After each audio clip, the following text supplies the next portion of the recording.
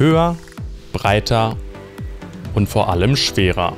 Die Gerätschaften für den Einsatz im Wald werden immer gigantischer. Und somit auch die Spuren, die sie im Wald hinterlassen. Das hat auch Auswirkungen auf das Wachstum der Bäume. Auf dem Wood Industry Summit der Ligna ist die Sicherung nachhaltiger Forstwirtschaft ein wichtiges Thema. Professor Labelle von der TU München erforscht seit Jahren die Belastung von Waldböden durch Forstfahrzeuge.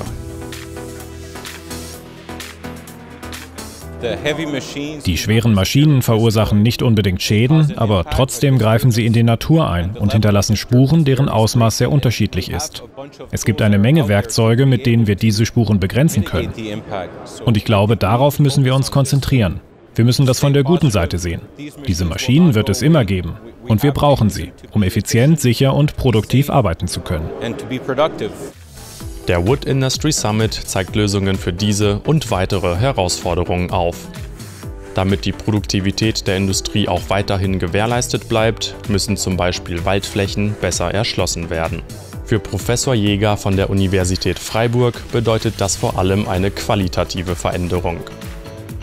Denn häufig sind die bestehenden Wege historisch gewachsen und nicht auf heutige Bedürfnisse ausgelegt.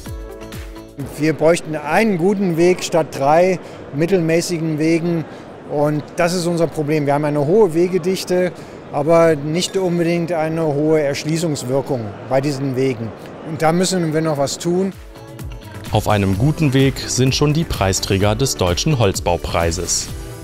Ihre zukunftsweisenden Projekte mit dem Rohstoff Holz sind dieses Jahr im Rahmen des Wood Industry Summits mit dem Deutschen Holzbaupreis geehrt worden wegen ihrer Umweltfreundlichkeit und der Schonung begrenzter Ressourcen. Abschluss der Preisverleihung und mittlerweile gefeierte Ligna-Tradition, der Zimmererklatsch.